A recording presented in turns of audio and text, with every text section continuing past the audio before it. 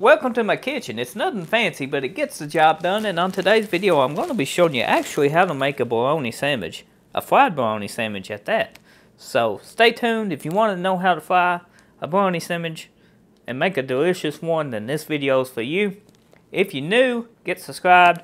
Also, if you're a returning subscriber, you know what's in store. So let's get started. So I'm going to go ahead and get ready to butter my bread because buttering your bread is the best thing ever and with a fried bologna sandwich you want to do that. So I'm going to turn this on medium and let it come to temperature and as it's coming to temperature I'm going to take a little bit of butter here just like so and let it melt inside of it.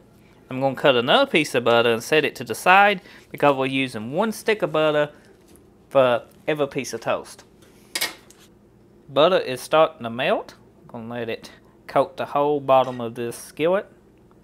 Because that's what's going to give your toast that we're making. Well, brown browning the bread, butter buttering the bread. That super good taste. So we're going to drop that straight down just like so. We're going to let it start frying. And we're going to just mash it down lightly. You can see the butter soaking into the bread here. Once this skillet comes up to temperature, it will toast extremely faster and you won't have to keep checking it because usually once you flip it once, give it a few seconds and flip it again, it's done. Now that we're taking our time, you can see we're getting that golden brown look to it. And that's what we want. See that side can use a little bit more because it soaked in a lot more butter. Go ahead and just finish that side off. Looks pretty good to me. Now I'm going to get me a plate and put this in. Looks extremely good, golden brown. Now we're going to do the same thing over again. We're going to take our butter, let it melt, scoot it around the whole skillet, put it in the middle, drop a bread, and get this piece of toast toasted bread done, and then we move on to frying the bologna. So now, once we got the bread done, we're going to take our bologna. I'm just going to fry one today, but you want to take this red stringy thing off of it, and then just drop it down in here. Now, you can use seasoning and stuff on this, salt and pepper. That's up to you. But if you just like a classic bologna, fried bologna flavor, then all you do is just fry this till it's done. Now the seasoning, as I said, was optional. I am going to put some of this butt rub on it. This is extremely good and look like I just uh, dropped a little on it. Don't need much. That's a little overkill. I said we didn't need much, but oh well. Now let's go ahead and flip this over. And you can see a bologna is starting to fry right now. Scoot it around, get that seasoning on it. Flip it again. Get some more of that seasoning on it. Just like so. Now I did drop my temperature just a little. I'm going to bump it back up now. It's on low medium.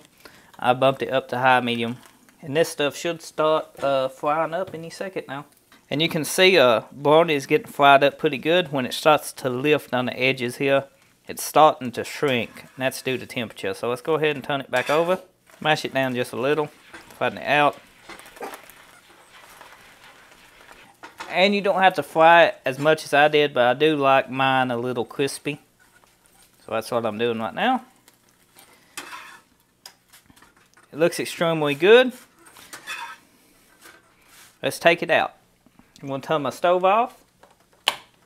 So I got a little bit of salt here. I'm just going to use my salt and pepper shakers. Add just a little bit of salt. A little bit of pepper. Then I'm going to add me a tomato. These is fresh cut tomatoes. One tomato. And then I'm going to add me just a little bit of lettuce. You can add whatever you want to your fried bologna sandwich. You can add, you know, uh, bacon, lettuce, tomato, seasoning if you want to. Just fix it just plain Jane, mayonnaise, ranch, anything you like. Fried bologna sandwich can be made several ways. So now we're going to go ahead and try this one out. It turned out great in my personal opinion. Check it out. What do you think?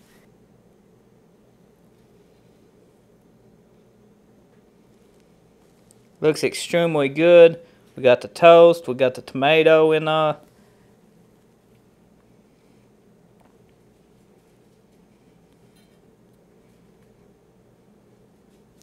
So I bet it makes you want to go fix one of these right now. You can use seasoning, anything you like. Some most people don't prefer seasoning.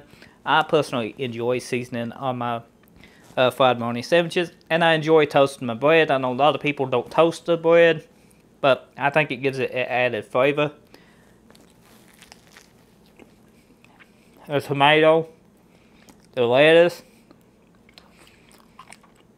and that butt seasoning with the salt and pepper just delicious. If you ain't tried a fried bologna sandwich fixed this way, you need to because you're missing out.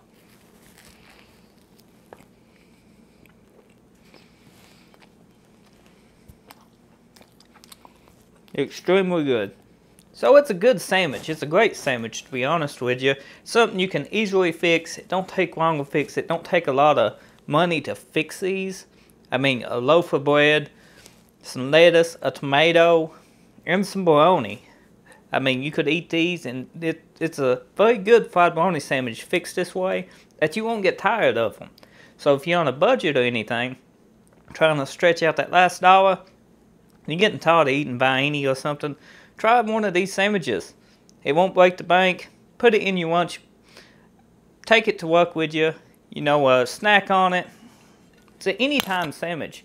And if somebody questions you what you're eating, give them a little bite of it, and I bet they'd be surprised too. So if you're new, get subscribed. If you're a returning subscriber, thank you. I appreciate you taking the time out of your day watching another one of my videos. I appreciate it. Thanks. I'll see you on the next one.